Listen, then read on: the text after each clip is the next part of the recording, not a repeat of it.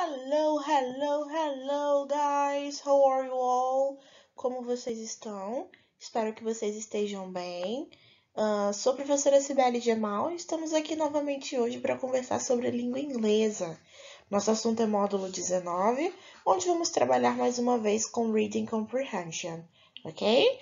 Como vocês já estão acostumados, nos capítulos de Reading Comprehension, nós vamos voltar aí à gramática dos módulos anteriores e, além disso, a gente vai aprender um pouquinho de vocabulário.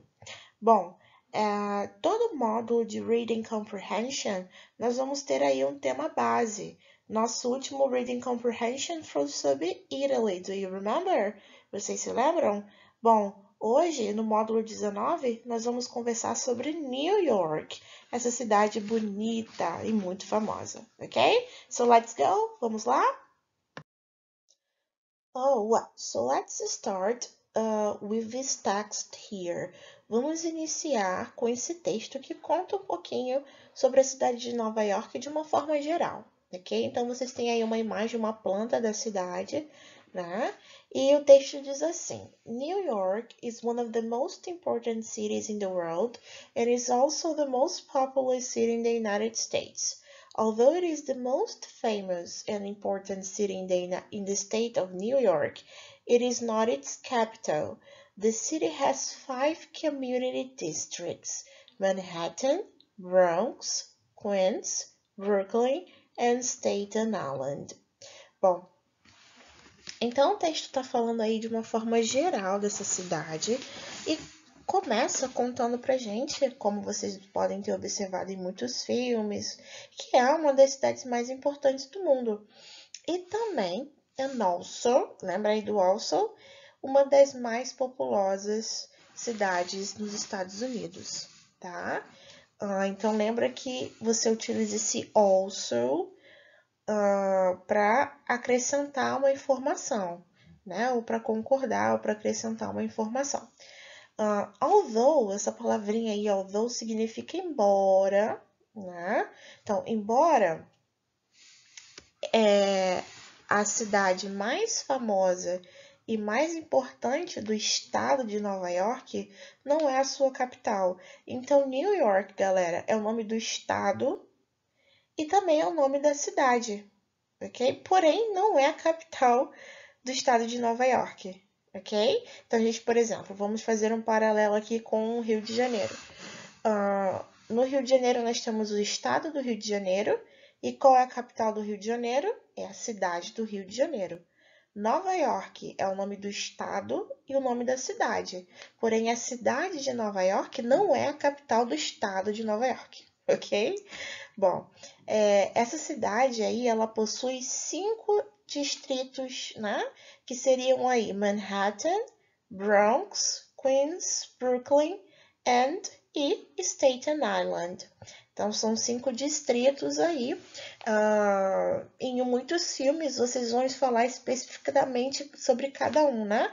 Tem alguns filmes que tratam mais de Manhattan, tem alguns outros filmes que vão falar, filmes e séries, né? Que vão falar mais sobre Brooklyn. E aí vocês podem observar na mesma cidade as diferenças sociais, né? As construções históricas. Uh, então, uma cidade que é muito representada uh, por filmes, enfim. Uh, e aí vamos para as nossas perguntas? A pergunta é: Is the city of New York the state's capital? Hum, o que está perguntando aí, galera? Se a cidade de Nova York é a capital do estado de Nova York. E a gente acabou de conversar sobre isso, né? No, it isn't. The city of New York it's not the capital of the state of New York. Okay? Letter B.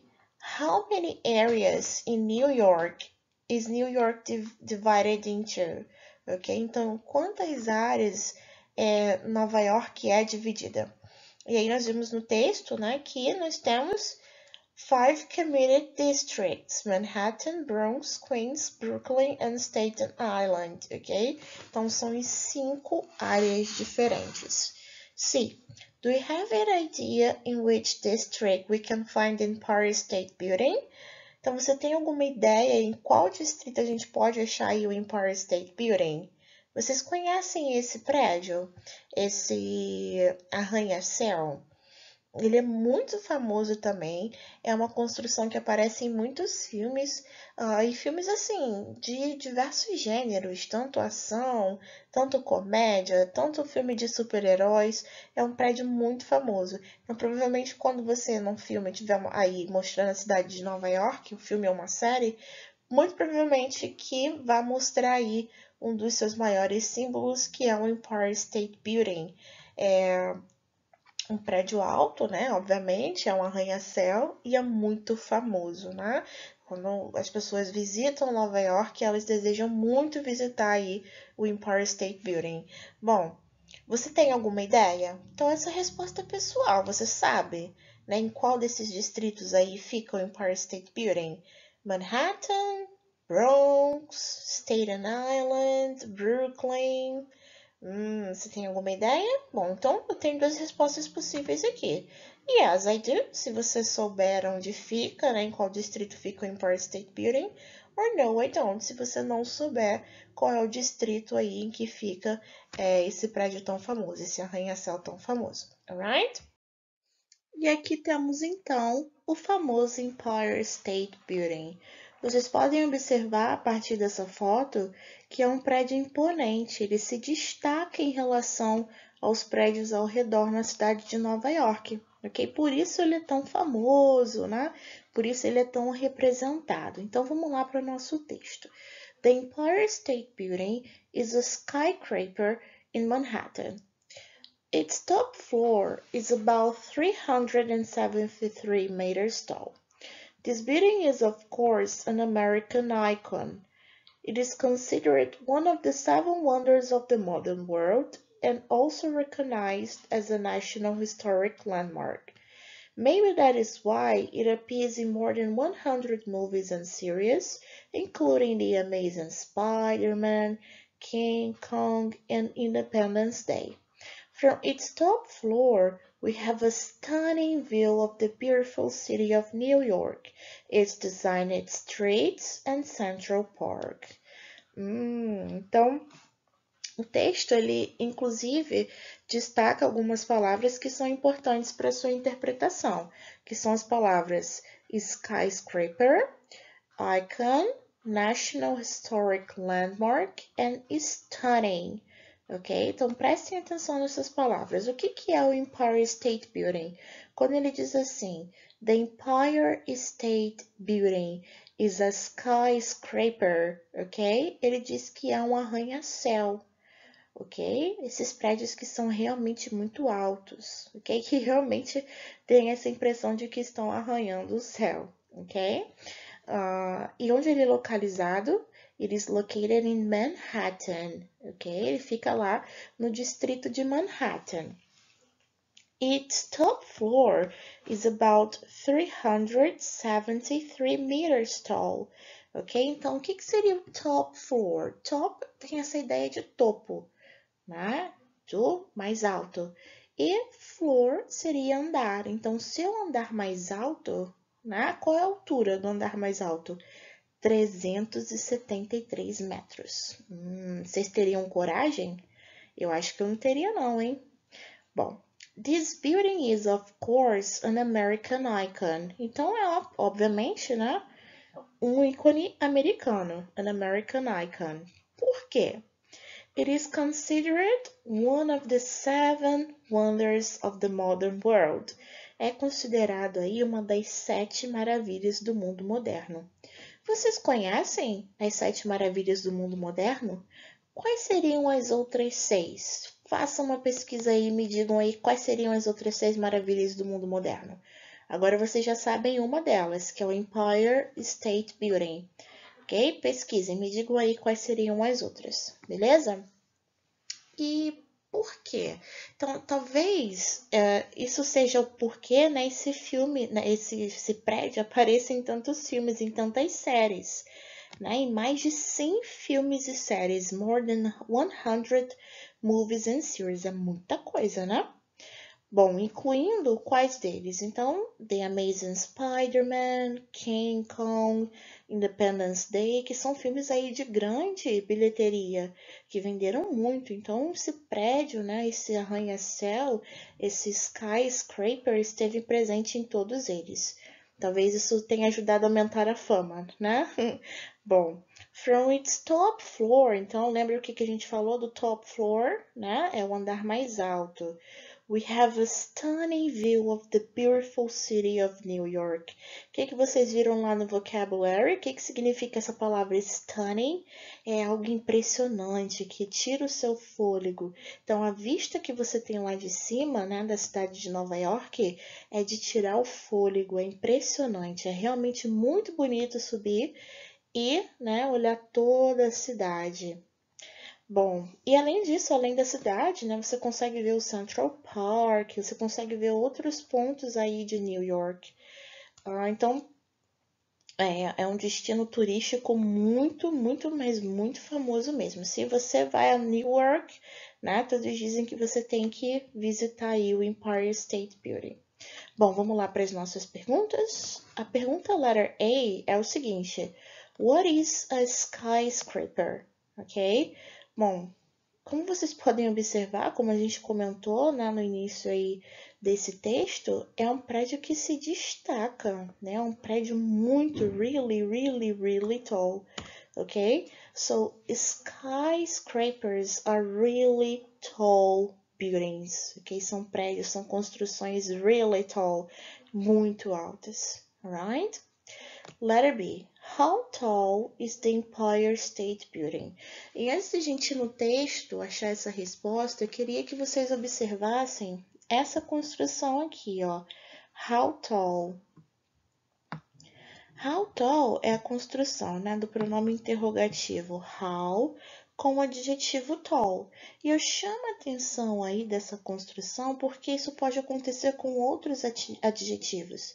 Então, poderia, por exemplo, perguntar how deep, né? O quão profundo, se eu estivesse falando de um river, um rio, ou de um ocean, de um oceano, ok? Então, sempre posso combinar aí how com outro adjetivo. E aí, nesse caso, esse how assume nessa, esse sentido de o quão tall, no caso com alto, how deep, né, o quão profundo, ok? Então, gostaria de chamar a atenção é, dessa expressão aí para vocês. Então, how tall is the Empire State Building?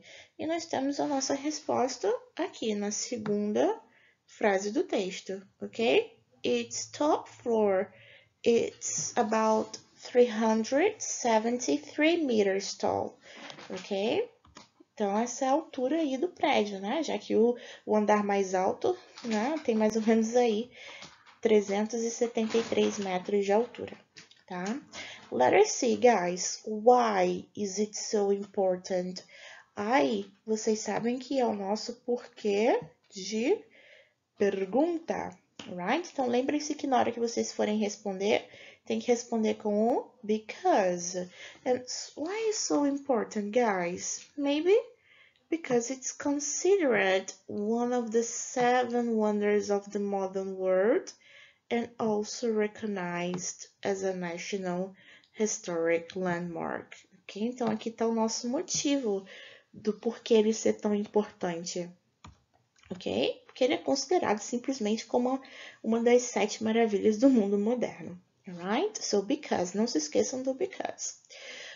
Uh, what can you see from the top floor? Ok? Então, what? Ó, mais um pronome interrogativo. O que? So, what are you able to see? Então, lá no top floor, qual é a vista? O que, que você consegue ver ali, ó? Então, a resposta está aqui na sua última frase do texto. From its top floor, we have a stunning, beautiful view of the city of New York, okay? Its design streets and Central Park. Então, nós temos aí ó, uma vista impressionante de tirar o fôlego da belíssima cidade de Nova York, né? Its design streets, as suas ruas é, bem desenhadas, né? Bem planejadas, e uma vista aí do Central Park. So this is the Empire State Building. Você já tinha observado em algum desses filmes esse, esse arranha-céu? Então, a partir de agora, vocês vão observar todos os filmes que vocês verem, filmes e séries, né, que se passarem na cidade de Nova York, vê lá se não vai aparecer o Empire State Building. Bom, então vamos lá falar sobre Central Park, que também é um dos pontos turísticos mais famosos aí da cidade de Nova York. Central Park is an enormous green area right in the middle of Manhattan. It is the most visited urban park in the United States and is also considered a National Historic Landmark by the U.S. government. It sits on 843 acres of land and is about 2.5 miles long and 0.5 miles wide. Other cities have used this park as a Newburgh Park model and, as with the Empire State Building, lots of movies were filmed there, such as Mr. Popper's Penguins, 13 Going on 30, and Spider-Man 3. There are a lot of attractions inside the park. You can go on a carriage ride, go horseback riding or bike riding, go roller skating, have picnics on the grass, and never visit the Central Park Zoo. During winter time, there is a nice skating rink as well. Ok? Então, esse aí é o Central Park, como vocês podem observar aí na foto. E muitos filmes que provavelmente vocês já viram.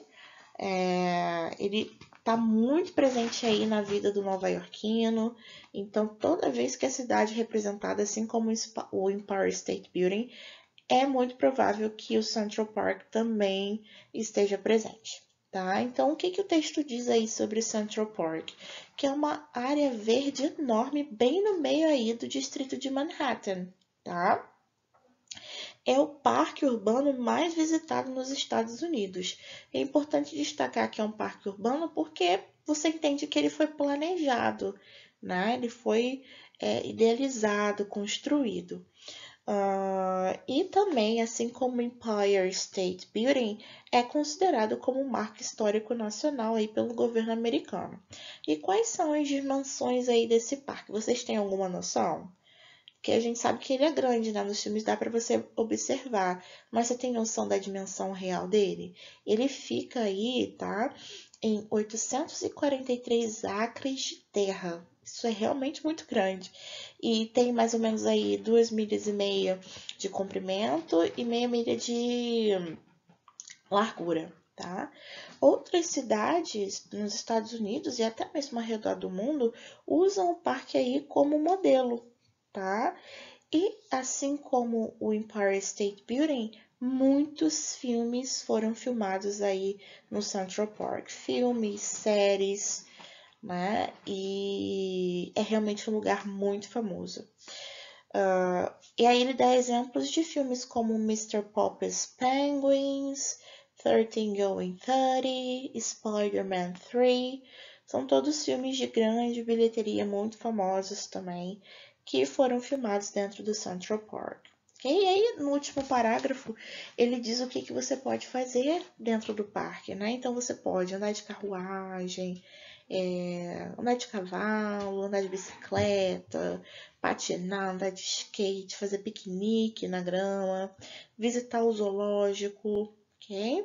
E durante o inverno tem aquela famosa pista de patinação também beleza? Então vamos lá. A letra A, ele pede o seguinte, ó.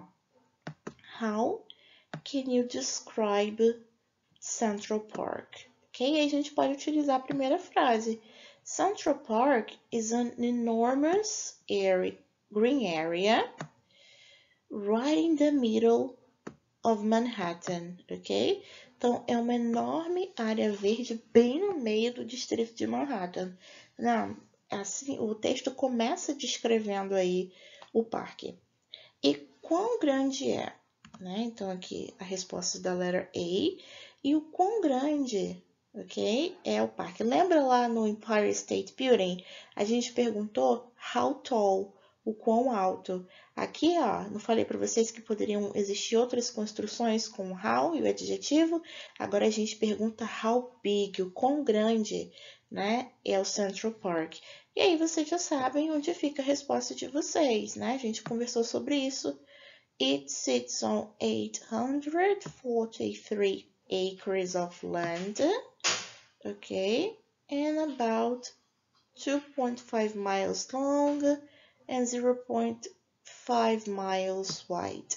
Alright? Então, essa é a dimensão aí do Central Park. E por último, a letra C pergunta: What do people do inside the park? Vocês lembram desse advérbio aqui? Inside. Dentro. Dentro da onde? Do park. So what can we do? What do people do inside the park? E aí a gente tem o nosso último parágrafo. Né? Então, you can go on a carriage ride, go horseback riding or bike riding, go roller skating, have picnics on the grass, and even visit the Central Park Zoo. During winter time, there is a nice skating rink as well. Que é o seu último parágrafo aí que explica as atividades que as pessoas costumam fazer dentro do Central Park. Beleza? Vamos lá para o próximo texto? Let's go! E vamos então para o nosso último texto. Vamos falar aí sobre a Statue of Liberty. Vocês observaram que muitos dos pontos turísticos, muitos dos lugares mais famosos dos Estados Unidos ficam aí na cidade de New York? Então vamos lá. The Statue of Liberty is more than one monument. It is a symbol not only of the city of New York, but also of the United States. This beautiful statue was a gift from France to the United States to celebrate the 100th anniversary of the Declaration of Independence. To get to the statue, we have to take a ferry boat. The ticket to visit Liberty Island and Ellis Island costs $25.50 for adults, $16 for kids, from 4 to 12 and $21 for seniors. This price is for pedestrian access. If you want to access the top of the statue inside the crown, you have to pay a little bit more. Be prepared because you have to climb 354 steps, which is equivalent to a 20-story building. But every step is worth it if you think about the breathtaking view of New York. Hum, então, olha que interessante para as palavras que ele chama atenção. Ferryboat é balsa, ok? Crown, coroa, e breathtaking é de tirar o fôlego. Então, vamos observar onde essas palavras se encaixam aí dentro do texto? Então, ele começa dizendo que né, essa estátua, ela é muito mais que um monumento, é realmente um símbolo que não é somente aí para a cidade de Nova York, mas é um símbolo para os Estados Unidos, tá? Faz parte da história, né? Então, é, é um presente da França para os Estados Unidos para celebrar aí o centésimo aniversário da Declaração de Independência. E aí ele conta como é que você faz para chegar na estátua aí no segundo parágrafo. Você precisa ter, é, pegar aí ó, o ferry boat, vocês sabiam disso? Então, vocês podem observar aqui nessa segunda imagem que eu coloquei para vocês, que para vocês chegarem né, até a Statue of Liberty, vocês precisam pegar aqui o ferry boat, uma barca. Tá? E aí ela vai lotada de turista até chegar aí a Statue of Liberty, ok? Bom, uh, que mais? E aí você pega o ferry boat e ele conta quanto que é, que custa, né? para você comprar o ingresso. É, para você visitar aí, né, a Ilha da Liberdade, né, e Alice Island custa, né, 25 dólares e 50 centavos para adultos, é, 16 dólares para crianças de 4 a 12 anos e 21 dólares para uh, seniors, que são os mais velhos, né? Uh, esse preço aí é para o acesso pedestre tá? Quando você pega aí a barca. E no terceiro parágrafo, ele conta né, algo que muita gente acha inusitado, muita gente não sabe que isso é possível. né? Então, se você, você pode chegar até o topo da estátua, ok? Mas para isso, onde é que é o topo? É lá na coroa, tá? É aqui na coroa da estátua. Então, você consegue chegar até aqui, sabiam? Porém, você tem que pagar um pouquinho mais. Então, esse preço aqui, ó, que ele diz, tá? Olha a informação aí para quando vocês quiserem visitar Nova York. Esse preço é para vocês chegarem até a ilha, tá? Vocês aí pagariam provavelmente 25 reais e 50, 25 dólares, né? E 50 centavos de dólar, tá bom? Se vocês tivessem mais de 12 anos. Se vocês tiverem aí menos de 12, vocês vão pagar 16, tá? Porém, para você chegar até a coroa, você paga um pouquinho a mais, tá? E aí, o texto, né, ele te, ele fala para você se preparar. Porque você vai ter que subir muito, muito degrau. São 30, 354 é, steps, né? E que é equivalente aí a um prédio de 20 andares. E aí ele diz que cada né, degrau vale a pena se você pensar que quando você chegar lá no topo, você vai ter aí uma vista de tirar o fôlego, ok, de New York, right? Então vamos lá. The letter A. The Statue of Liberty was a present given by which country? Então você já tem aí lá no primeiro parágrafo essa resposta, né? Present, presente, given, dado, for each, by which country? So, This beautiful statue was a gift from France to United States. Right? Temos aqui no seu primeiro parágrafo, tá? Primeiro parágrafo, first paragraph. Bom, e aí a letter B, o que que pede a letter B? How do you get to the island? So, ele pergunta, ó, toda vez que você tiver essa pergunta, how do you get to? Ele quer saber o meio de transporte utilizado para chegar naquele lugar. Então, poderia perguntar assim, ó, how do you get to school? Ah, by bus. I get to school by bus. How do you get to work? I get to work by subway. Alright? Então, uma pergunta relacionada aí a meios de transporte. E ele te responde aqui na primeira frase do segundo parágrafo. Okay, então to get to the statue, we have to take a ferry boat. Letter C. How many steps do you have to climb in order to reach the top of the statue? Ah, so how many steps? Ok? And climb, escalar. Então, essa resposta está aqui, ó. You have to climb 354 steps which is equivalent to a 20-story building. Alright, so 354 steps. From where inside the statue can you get a view of the city? Ok? Então, ó, where, onde? Onde, view of the city, né? A vista da cidade. Que cidade? Nova York tá? E lembra aqui, ó, ele tá falando especificamente dentro da estátua. Então, de onde dentro da estátua você vê aí New York, galera? From the top of the statue, inside the crowd, dentro da coroa.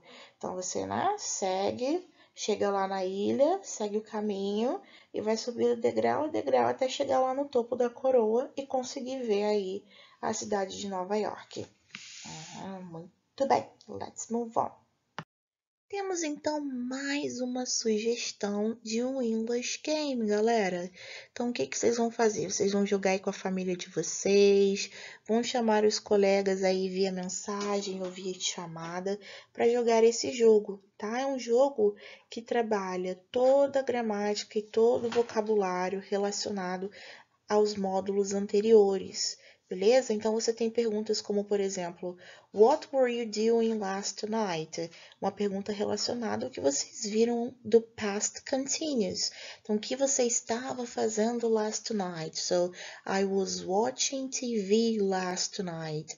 Ok? Lembrando que, que vocês podem jogar aí é, utilizando uma moeda, né? O começo do jogo para utilizar uma moeda. Então, quando você tem é, heads, cara, você faz, você anda duas casinhas. E tails, né? Você anda só uma casinha, tá bom? Então chama aí a galera via WhatsApp ou enfim, qualquer outro aplicativo. É, continue aí em segurança, mas não percam essa oportunidade de poder praticar o inglês e o vocabulário que vocês aprenderam até então, beleza? Bom, e assim como tínhamos lá no último módulo de Reading Comprehension, também teremos um General Knowledge Quiz no módulo 19. No módulo anterior de interpretação de texto, a gente trabalhou com Itália, lembra? Aqui nesse quiz de conhecimentos gerais, a gente vai trabalhar com o assunto do capítulo que é New York. Então, quantas perguntas aí vocês vão conseguir responder? Vamos ver? Então, vamos lá para a questão número 6, galera. Where is the Statue of Liberty located? Então, onde que é localizada aí a Estátua da Liberdade? Tá? Em que lugar da cidade de Nova York? Liberty Island, Manhattan, Brooklyn, Staten Island, The Queens. Hum, vou dar um tempinho aí para vocês pensarem. Dois segundos, hein? Um, dois. Ah, it is located in Liberty Island. Galera, a gente viu no último texto que a gente comentou, tá? Lá no número 7, what is the New York Times? Né? Vocês já ouviram falar aí? The New York Times? Hum, é algo famoso, hein? Será que is letter A, a stadium? Um estádio? A government building? um, né, um, um prédio, um edifício do governo? Uh, a clothes store, será que é uma loja de roupa lá na cidade de Nova York? Or D, a newspaper, um jornal? Hmm, or a weather forecast company, né, uma companhia aí de previsão do tempo. A resposta correta é letter D, galera. The New York Times é um dos jornais mais famosos dos Estados Unidos. Inclusive, eu recomendo que vocês sempre acessem a versão digital do New York Times para adquirir vocabulário, para praticar aí a língua inglesa. Tá bom, é uma excelente dica para vocês se aprofundarem aí é, no inglês através das notícias. E aí, vocês acertaram essa? Vocês sabiam que era um newspaper, um jornal? É bem famoso. Vamos lá para o number 8. Which building for the city of New York is considered one of the world wonders of the modern world? Hum, essa aí vocês sabem, a gente conversou bastante, né? Então, que prédio da cidade de Nova York é considerado uma das maravilhas né, do mundo moderno? Hum, vocês lembram? É o famoso Empire State Building, ok? Vamos lá para 9. The city park that served as a model for many others is. Então, o parque da cidade que serve como modelo aí para muitos outros é Manhattan Park, Brooklyn Park, Central Park, Bronx Park ou Staten Park. Ah, essa aí é fácil, né? O famoso Central Park. And what about number 10? Which buildings were destroyed in which buildings were destroyed on September 11th, 2001 in the city of New York? Bom, a cidade de Nova York é, por ser né, uma, uma um lugar muito famoso, um lugar muito reconhecido é, ao redor do mundo, é, foi palco também de uma grande tragédia que aconteceu aí no dia 11 de setembro de 2001, é, onde nós tivemos a destruição aí, vocês sabem do que? Do quais foram os prédios que foram destruídos nessa data, que é muito marcante aí na história americana, marcante no sentido bem negativo, vocês sabem? Ah, foram The Twin Towers, as Torres Gêmeas, and uh, in the World Trade Center, ok? Então, aí as Torres Gêmeas no World Trade Center, ok? é, foram elas que foram destruídas uh, nesse dia, beleza? Bom, Aí chegamos na nossa Further Practice. A Further Practice desse módulo trabalha com vocabulary, galera. Então, é uma revisão de todo o vocabulário que vocês vêm aprendendo. Vocês lembram qual foram os grupos de vocabulário? Vocês aprenderam sobre tarefas da casa, é, vocês aprenderam sobre uh, membros da família, vocês aprenderam sobre partes da casa, beleza? Então, vai revisar todo esse vocabulário. Então, vamos fazer juntos aí. For example, uh, ele pede para que você escreva a palavra para cada definição, ok? Então, temos aí, primeiramente, strong winds, rain, thunder, lightning. Hum, então, ventos fortes, chuva, uh, trovão, relâmpago, que, que isso representa? Vocês lembram? Vocês também viram esse vocabulário, não foi? De weather, de tempo, hum, tempo atmosférico. Ah, storm. Quando tem tudo isso junto, tem uma storm, uma tempestade. Beleza? Bom, when we have strong winds, we can say the weather is. Ah, strong winds, ventos fortes. Como é que a gente expressa esse tempo aí na língua inglesa? We say windy, right? A room where one can wash and dry clothes. Então, qual é o nome da parte da casa onde a gente wash e dry clothes? Onde a gente lava e seca as roupas? Is the laundry room. Hum. E qual é a parte da casa que é aí, ó, the entrance area, just past the front door ok? Que é a área de entrada, é, que é assim logo após é, a, a, sua porta da frente, né? Geralmente você deixa aí um lugarzinho para chave, tem uma, uma mesinha assim para você apoiar algumas coisas. Nós chamamos de hall, right? A room or place that has equipment for cooking. É cooking, ó. Mmm, delicious cooking. Onde a gente Coloca os equipamentos, o stove, o fogão, a fridge, a geladeira in the kitchen, right? Na cozinha. Agora vamos lá, vocabulário de membros da família, hein? The brother of someone's father or mother. O irmão, né? Do, do pai ou da mãe de alguém. Quem seria?